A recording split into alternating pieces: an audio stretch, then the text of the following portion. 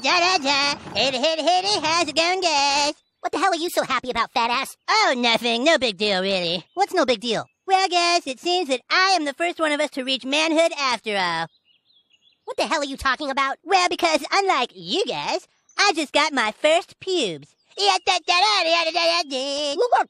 What's pubes? Pubic hair. He's saying he got his first pubic hair. Oh.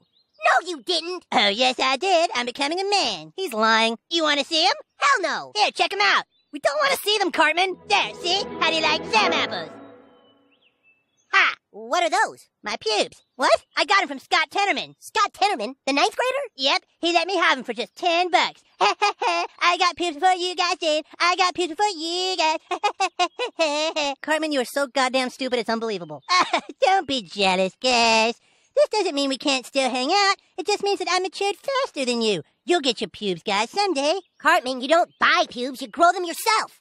What? When you get old enough, you grow your own pubic hair that's attached to you, you fucking dumbass. Nuh-uh. Yeah, huh? But then why would Scott Tenorman sell me his pubes for $10? Because, retard, you're dumb enough to buy Scott Tenorman's pubes for $10. You're telling me these pubes are worth nothing? Yeah. I'm gonna get that son of a bitch.